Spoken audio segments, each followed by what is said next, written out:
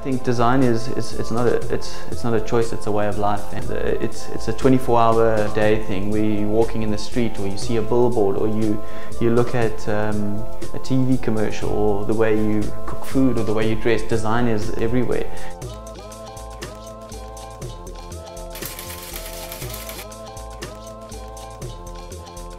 that inspiration is in it's in everybody. I think you just need to let it you just need to release yourself to it and just absorb as much as you can. Each client is unique um, each client has a unique product and how we communicate that to their target audience i think is the challenge how we can rebuild their brand and how we ensure that brand consistency with them they know their business and it's exciting for them to be involved in this, um, in this whole process, coming up with the best solutions to actually get that message across.